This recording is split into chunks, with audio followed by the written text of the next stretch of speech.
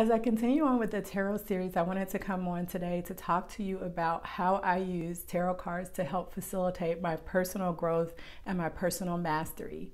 And in order to do that, I have to back up a little bit because I want you to understand what I mean by personal growth and personal mastery. And basically, what that is, is knowing that deep down in my heart, I don't want to live my life just for what's going on on the day to day. I don't want to just put one foot in front of the other and just go through the motions and have life happen to me. I want to be somebody that is fully participating in my life and living life with intention and with a bigger purpose for myself, grounded in my core values and the principles that I've adopted to live the life that I want to live. So every day I strive to be better and better than I was the day before. And that's personal mastery. It's evolving, it's growing, it's learning, it's manifesting, it's living life to the fullest and leveraging everything in your disposal to reach your highest and highest potentials.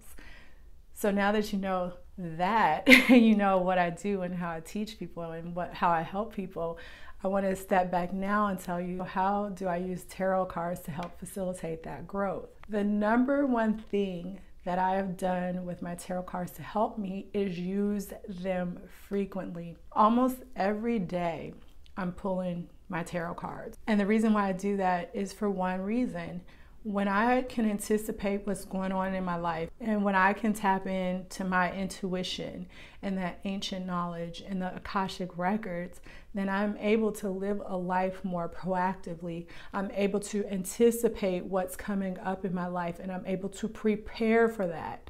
Another thing that tarot does is if you do pull tarot cards for guidance and for help and for clarity and to make better decisions, and things come up that you may not want to happen, life is never set in stone.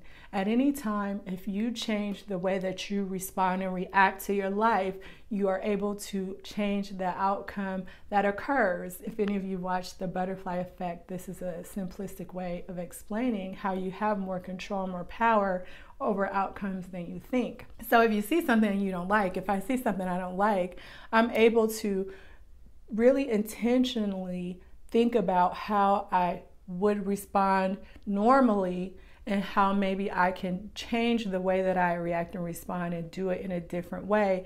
And by changing my actions, I'm able to change the outcome from something that maybe I didn't desire to something that I really desire. Another thing that they do, especially if I'm feeling very emotional or very confused, I'm able to just take my deck and I'm able to get in a quiet space, ask the appropriate questions that I need to ask and the questions that you ask are important. And then get the guidance that I receive from pulling my tarot cards to help me to move forward from a problem, to help me um, receive guidance when I'm feeling confused or emotional, what have you. And so, tarot is a tool that helps me connect to who I really am inside when I'm feeling out of touch, when I'm feeling out of sorts, when I'm feeling ungrounded, confused, what have you. I use tarot cards in many different ways. I talked about two of the main ways that I use them and that a lot of people use them in a previous video all about tarot cards. But sometimes, if I'm really wanting the answer to a question, I might just ask the question and pull a card. So, for instance, I may say, What does this afternoon have for me? What's the most significant event that's going to happen this afternoon? And just pull a card and read from there. But if I'm really emotional or really confused, I may find a spread or develop a spread where I pre select the position in which I'm going to read the cards and the assignments that are assigned to the cards. I'll insert a picture so you know what I'm talking about when I say spread. It's just basically a layout with predetermined assignments for each card.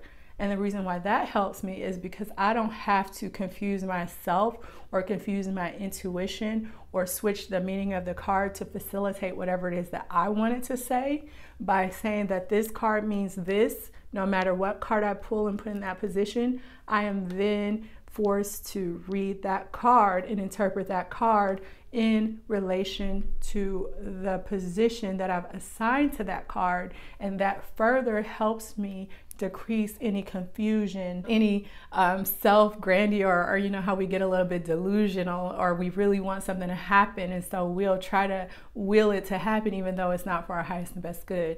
Spreads eliminate that. So I usually am asking questions or I am using a specific spread. Specifically for my day to day, I developed a spread that I use for myself. I think it was about 10 years ago when I created this spread. I still use the same spread almost every day to help me anticipate the, mo- the most significant events that are going to happen for that day, what I need to watch out for, the most important advice I need for that day, how my most important relationships are going to go for that day, and um, just any major significant events for the whole day that I need to know. And that is what I usually start my day off with almost every single day because, again, I'm able to anticipate what's going on. At the same time, I'm able to ask deeper questions, maybe once a week um, when I'm feeling confused, when I'm feeling doubtful, anything like that. And those bigger questions help guide me in a larger direction in my life for instance, if I'm get, feeling resistance in life about something that I want to manifest, I can say, why am I um, butting up against this, against this resistance? Is what I want to manifest for my highest and best good? If it is for my highest and best good, what can I do right now to help facilitate the energy opening up for me to call in what it is that I want? So you see how you can use them from the day to day to help you live a better life, but you can also use it in your overarching life to help kind of move you in the right direction and connect you with the energy that you need to have less stress, to have better answers, to make better decisions, and help shift your future toward what it is that you want to create. That is how I use tarot cards for my personal mastery and guidance. And if this sounds like something you want to do, then I hold a class ever so often for beginners to teach them the deeper meanings of how you read your cards, the correct way to read your cards, how to read them for accurate answers, how to ask questions, all of those good things that'll have you on your path to using tarot cards the way I do for self guidance, personal mastery, and even if down the line you want to read cards for other people like I do, this is going to help you be that better reader, that more enriched reader, um, the person that is able to get those deeper, more subconscious and intuitive answers to service yourself better and maybe to eventually service your clients better. So stick around. There's lots more videos on tarot. Make sure you check those out. And um, if you are interested in class, make sure you look for the information that is along with this video and it'll show you how you can sign up for tarot class. Talk to you soon.